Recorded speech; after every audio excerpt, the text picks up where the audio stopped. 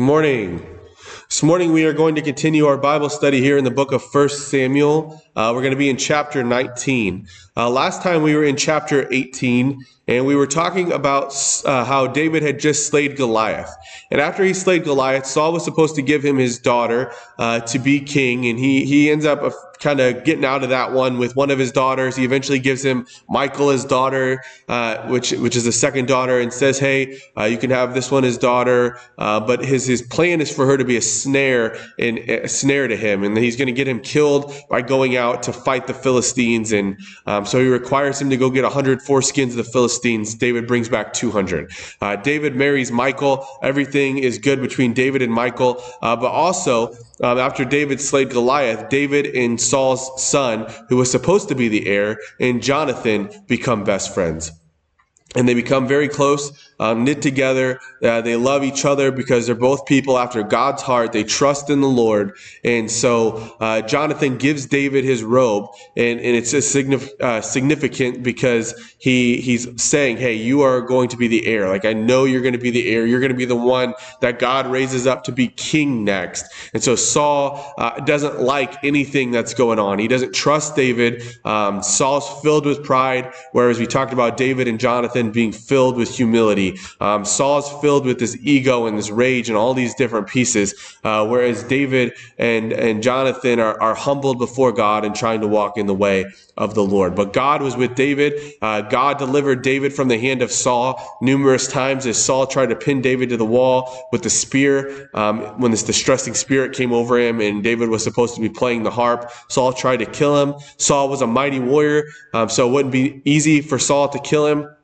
I mean, it wouldn't be easy for David to escape, uh, but but he does. Why? Because the Lord was with him, and the Lord had a plan. And so uh, we end up here at the end of this chapter after David and Michal had gotten married, and uh, David's name was growing great in all of Israel.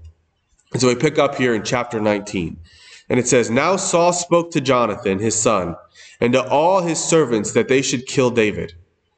But Jonathan, Saul's son, delighted greatly in David. And so now Saul says plainly, We're going to kill David. He's not even trying to hide it anymore. He's ready to take him out. He's ready to kill him. He wants him gone. He wants it to be over with. He doesn't want anything to do with David anymore.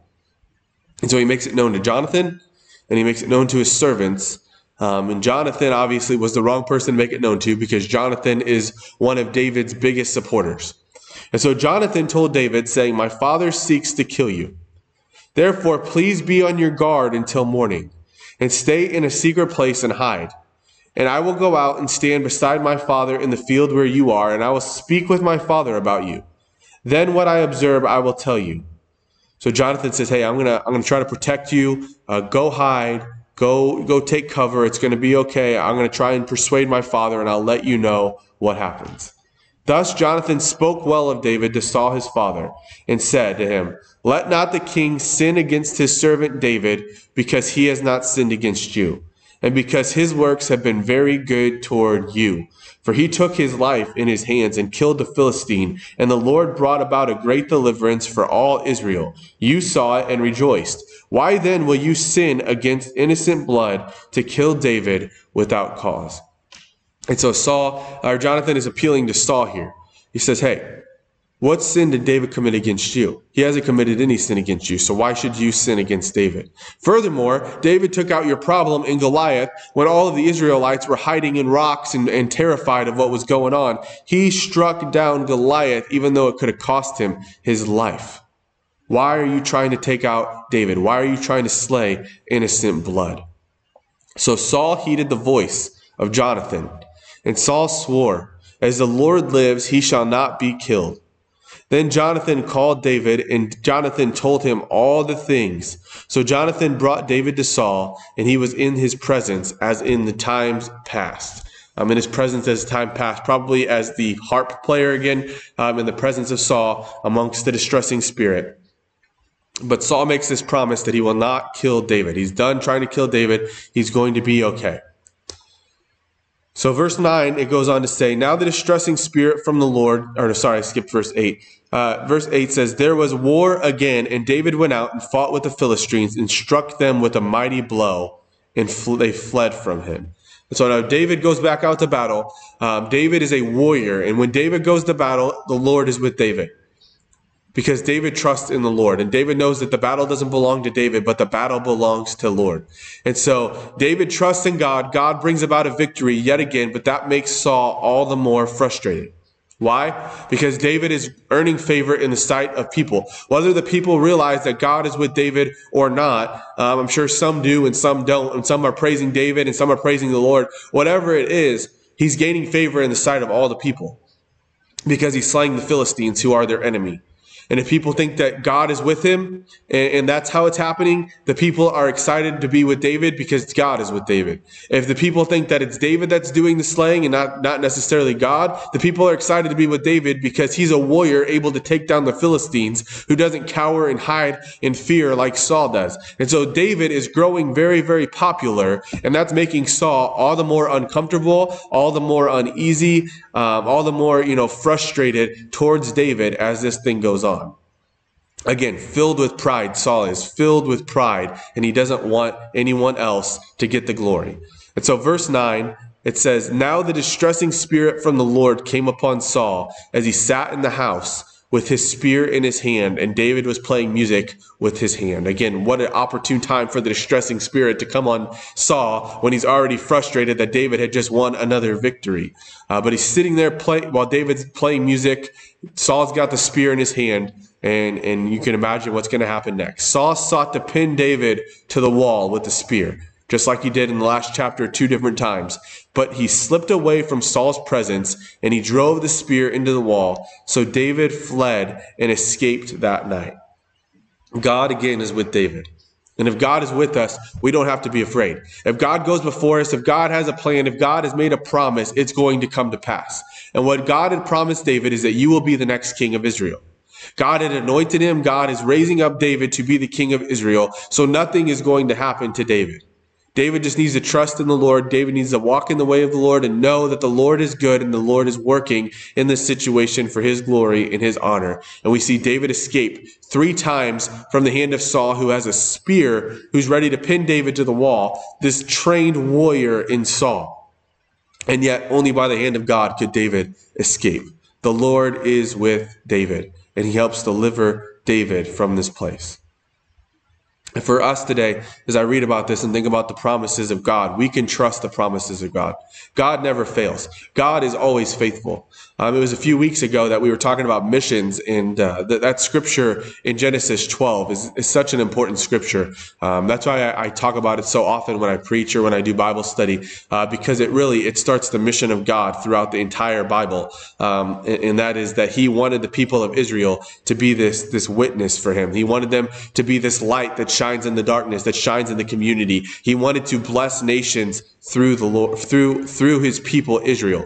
He wanted all the nations to be blessed. How are they blessed? The only way that they are blessed is to know who God is and to surrender their lives to him. That is the most blessed that they can ever possibly be. But Israel fails. For Israel to succeed, Israel needed to walk in the ways of the Lord. They needed not to follow idols like everyone else, but to walk in God's way. And so Israel failed in the mission. And while God reaffirmed that, that mission over and over again, perhaps even to Moses and some others, he, he said, If you follow my commands and you do not walk into idols, then I will bless you and you will be a blessing to these nations. These, er, these other nations are going to see who I am by your obedience, by your walking in my way and it's all going to work out. But Israel is not faithful. And Israel does not keep the way of God. Instead, Israel sins against God and messes up time and time again. God delivers them into the hand of their enemies, and they're brought into exile and into captivity. But ultimately, even though Israel is faithless, God remains faithful.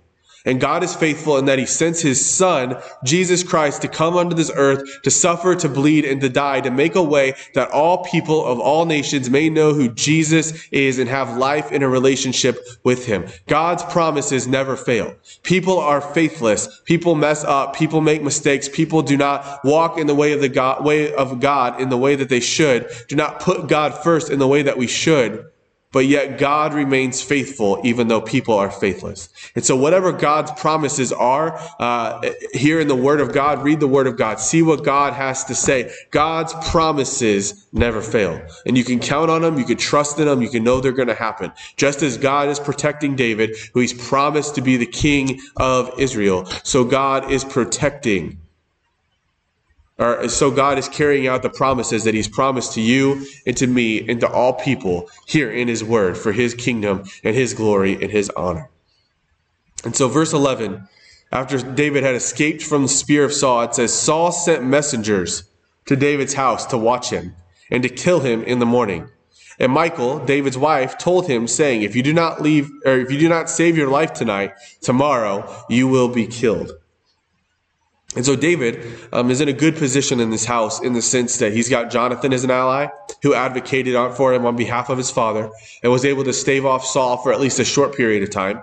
And now he has Michal, who is also on his side, uh, who is able to hear the thing of the king's house and to bring information to David to save him alive. Whereas Saul intended Michal to be a snare to David, Michal is actually a blessing who is going to be a product of saving David's life. He's going to be used to save David's life.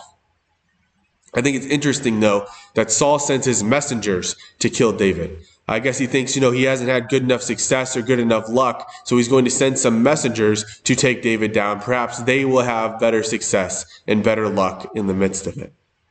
And so he sends his messengers down. Michal warns David. So Michal let David down through the window. And he went and fled and escaped. And Michal took an image and laid it in the bed and put a cover of goat's hair over it for his hair, for his head, and covered it with clothes. And when Saul sent messengers to David, she said, He is sick. He goes to try to get messengers. He sends them down to try to get that taken care of, and yet he's sick. They say, Oh, he's sick. Not really sick. Sent him off to uh, sent him off to be saved. And so Michal's covering this up. She puts this goat hair down. Um, you've probably seen something like this in a TV show before. I mean, this is like this is this is as old as however old long ago David was, and perhaps even longer than this. Um, I don't know that Michal was necessarily the first one to think up putting a, a head of, with hair on it, but maybe um, to, to cover this up. But she does this. She puts this down, a fake David in bed, and says he's sick. That's why he's not getting up. So then Saul sent messengers back to see David, saying, Bring him to me in the bed that I may kill him. Saul's like, Oh, good. He's sick. He's immobile. He can't do these things. I'll take care of this. I'll take him down. I'll strike him dead. It'll be over with. And so she's, he's prepared now that David is immobile, that David is unable to fight back. He says, Oh, I could do this. Really, Saul has no, no strength, no ability. He has no trust in God. He, he wants the easiest way out. He doesn't want to fight David like a warrior. He wants to slay David in his weakest state. And that says a lot about, David, about Saul's character. That if David is sick, then Saul will try to kill him. If not, he's going to send his messengers to do it because Saul is fearful of David. And that David may indeed strike him and kill him because he knows God is on his side. And one thing that Saul can do well is fear God. Um, and we see that throughout the Bible. Even whenever Saul was rejected as king, he feared the Lord, that being on his side, and perhaps for selfish gain, uh, but also perhaps because he knows the power of the Lord and who God is. But he says, Bring him to me. I'm going to kill him. If he's sick, he won't be able to do anything.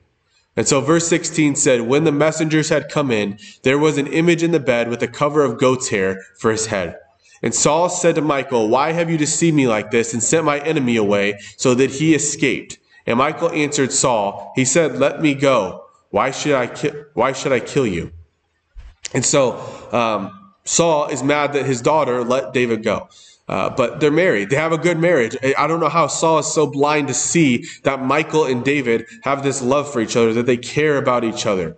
Uh, and, and, he didn't see it. And now he's frustrated that his daughter betrayed him and, and was not letting David be killed in this moment.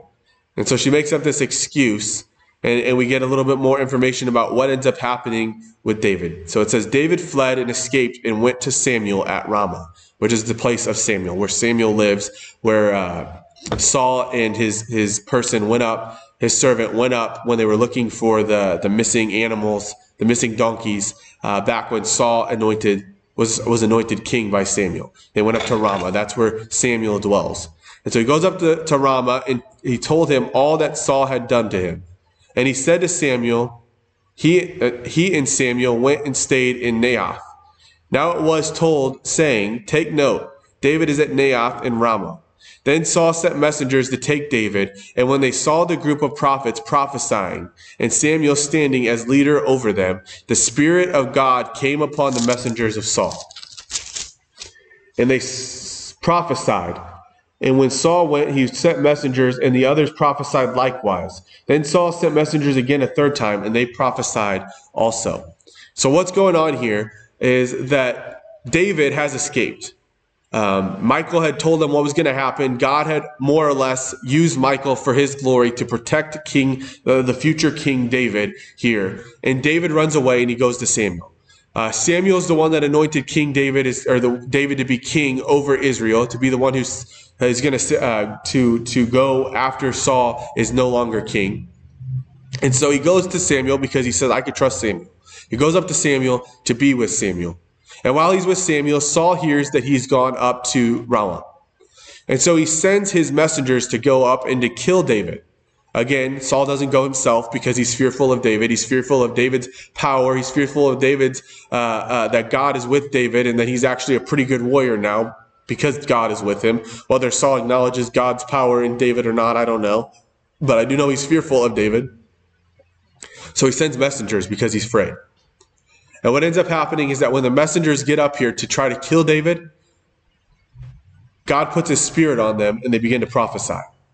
God turns to them and makes them prophesy rather than hurting David. He stops and protects David. And this happens three times. God's hand is on David. He will not let anyone stretch out their hand against him because he is going to be the king. God has made the promise. You can put it down. You can write it in ink. It's going to happen. There's going to be nothing that's going to stop this from taking place. God is going to make David become the king of Israel.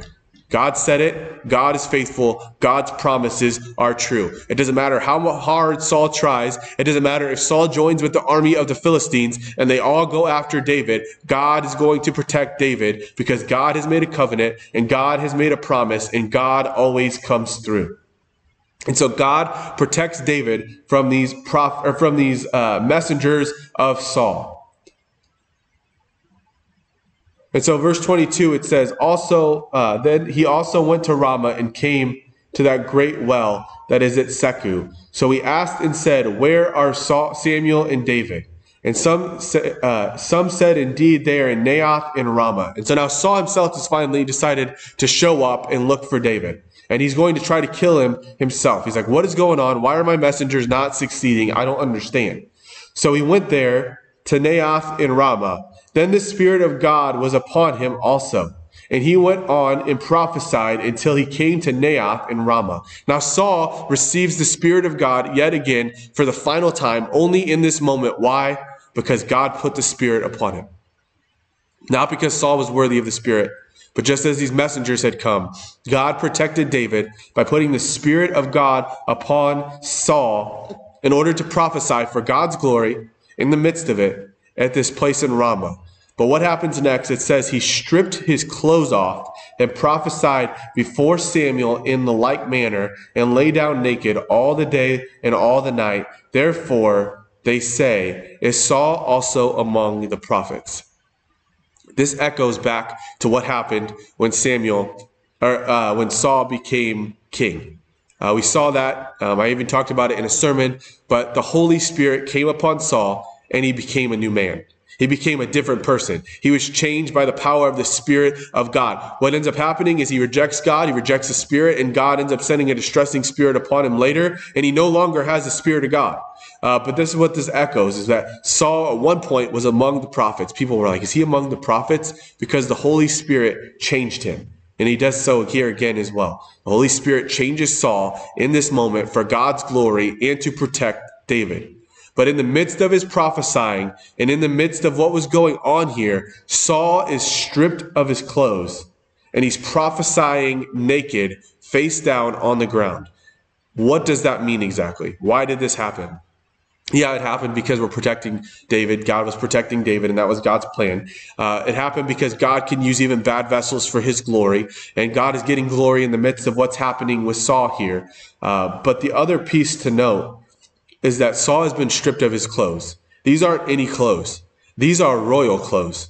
They signify his kingship, and he has now been stripped of his clothes. Why? Because God has stripped him from being king.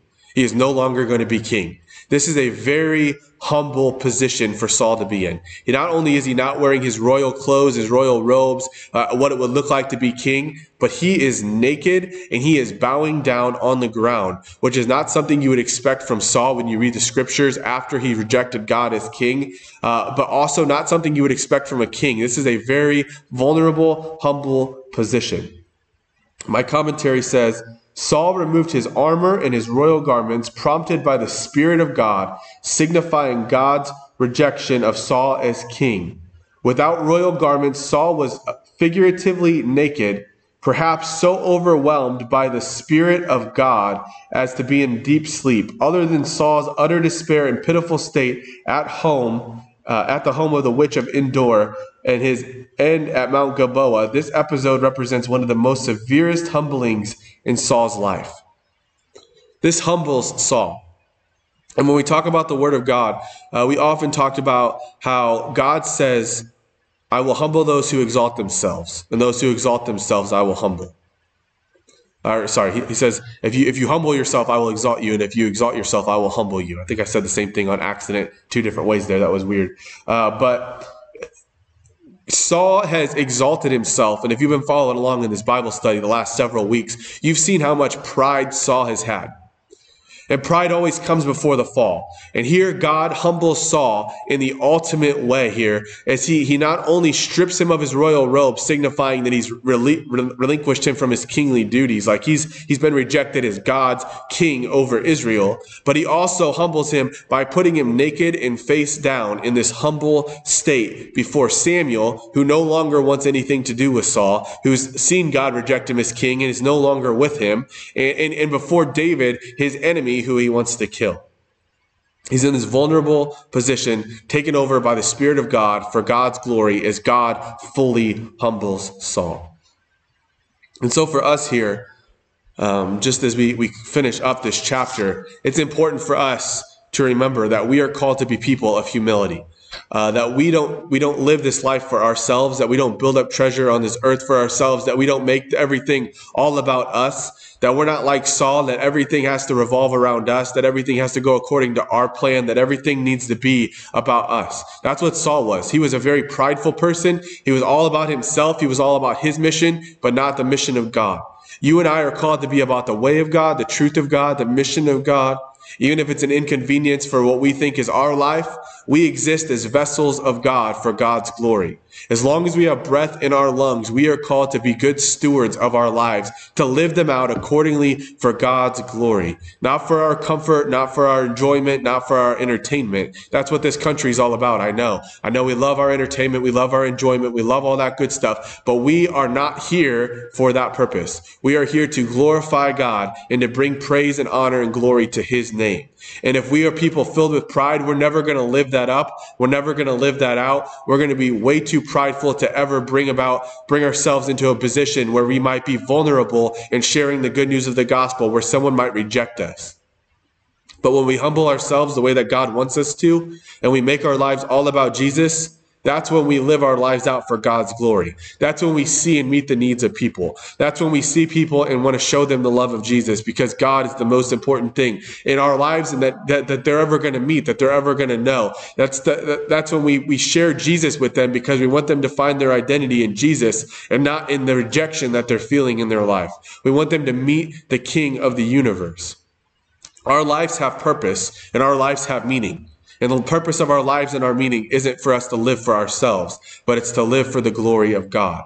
But for that to happen, we need to humble ourselves and to submit to the authority of God, the obedience of, that God calls us to live in, and into the Holy Spirit of God, that we would live out our lives in this mission for God's glory and honor. That's 1 Samuel chapter 19. Uh, we're going to go ahead and look at 1 Samuel chapter 20 next time if you want to look ahead. Uh, but we're going to go ahead and close out in prayer. Lord, we thank you for your grace and your mercy and your love in our life.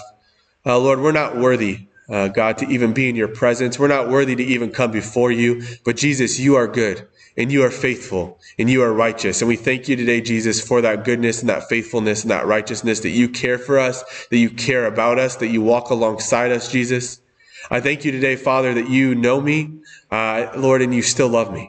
God, you know every one of us. You know the depths of our heart, and you love us the same, Jesus. We pray that you forgive us for our lack of obedience, Jesus, for our lack of faithfulness to you.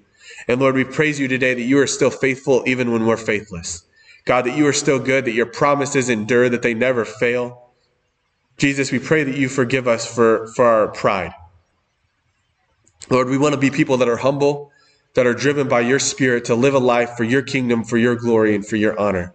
Lord, we pray that you would open up windows and doors of opportunities for us to step through, and you would give us the boldness and the audacity to step through it for your kingdom and for your glory and for your honor, realizing that this life is not about us, but it's all about you. And Lord, we thank you for hearing us today. We thank you for loving us, and we pray you be the glory in all things. In Jesus' name, amen. Thank you guys for listening. We'll be back next time to do 1 Samuel chapter 20.